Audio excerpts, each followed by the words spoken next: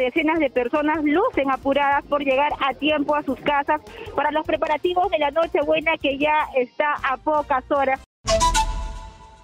En estos momentos estamos enlazados con nuestra compañera Evelyn Guaire hasta el distrito de San Borja. Contigo Evelyn, te escuchamos.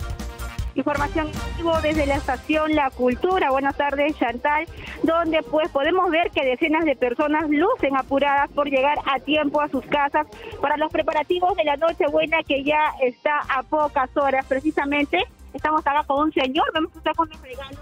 Señor, buenas tardes. ¿Hasta dónde se dirige usted? Lo veo con los dos regalos para los pequeños. La estación Pirámide.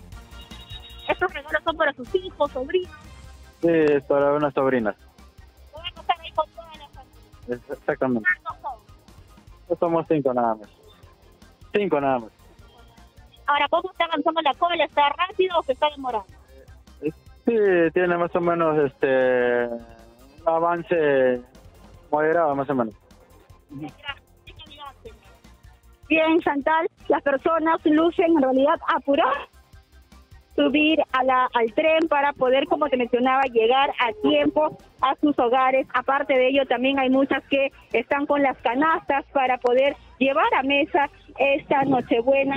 Y bueno, ese es el, el panorama desde la estación La Cultura, donde si bien es cierto, hay cola, no se registra gran afluencia de personas y va avanzando de manera rápida. El promedio de espera es minutos para poder ingresar genere desde la estación La Cultura informó Evelyn Wild para Éxitos en Lima 95.5 de la FM.